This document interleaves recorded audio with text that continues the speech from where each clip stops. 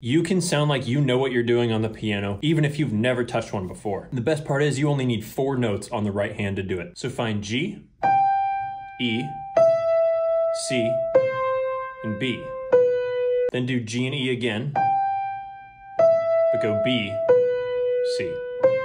That sounds good, but it needs more. What can we do on the left hand to give it some context and create emotion? Good news again, only four notes. Find C, G, A, F. So let's play what we have so far.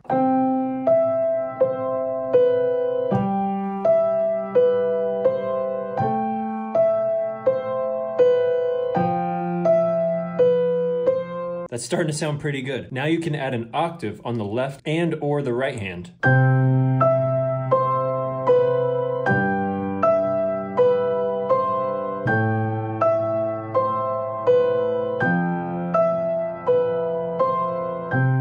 And if you're feeling it, you can even add the fifths on the left hand and add some rhythm to it. Why not?